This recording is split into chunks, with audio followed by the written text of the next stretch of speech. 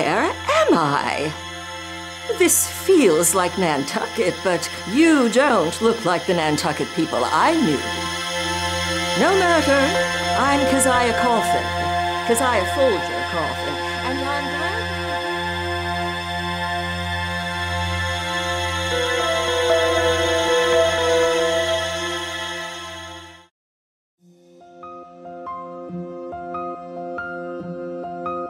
Visitors are coming into the museum, they're excited, and as you know, an interpreter that welcomes them, we guide them to the highlights of the museum. And the highlight this year, of course, is the hologram.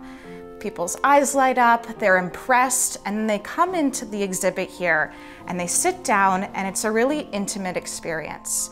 People in one sitting, um, adults, youth, will listen to every one of these extraordinary women tell her story. So it's really, it's a whole experience in itself. It actually became real about two years ago when the NHA cut us loose to, act, to, to work on this. And we were given a few different locations as to where we actually could, you know, could do it. And of course, each location required different, different dynamic, different engineering, different everything. And finally, they said, well, there is this office that we are not using. Can you make it work in here? What we're trying to do at the end of the day is just tell the story, effectively. Uh, the stories of these women that we have in here are really remarkable. They're living in a, a time that was just really fraught with things happening, slavery and, uh, you know, the right to vote and war. Actually, it all started with Susan Boardman and her embroidered narratives. And Susan, in order to do them, spent a great deal of time at the NHA Research Library learning about these women. And that eventually wound up as an exhibit here at the Whaling Museum. It turned into a, a, a book that Betsy Tyler had written, and, um, and it just, it went on from there. Yeah, Eliza was an agitator. She was in the middle of it all. She, she knew everyone, she organized everyone, she got them together, um, and she led the charge.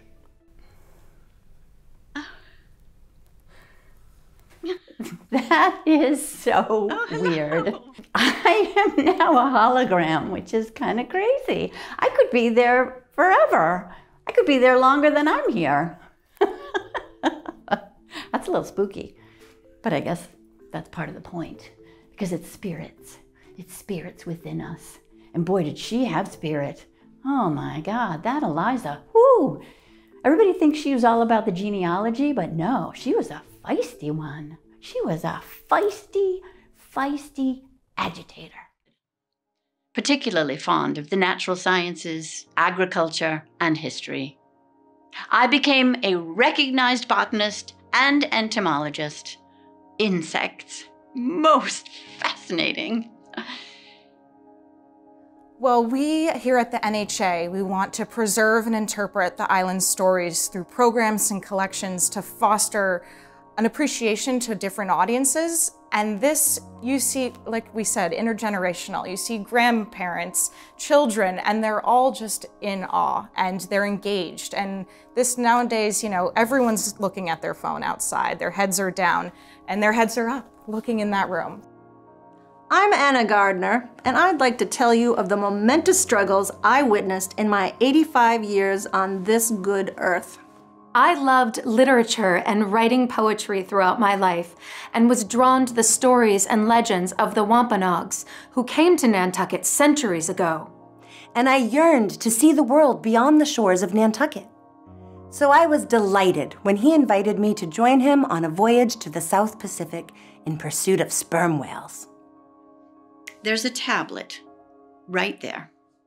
If you touch each image, you can meet each of them and they'll tell you in their own words about their own remarkable lives and the people they knew who inspired them.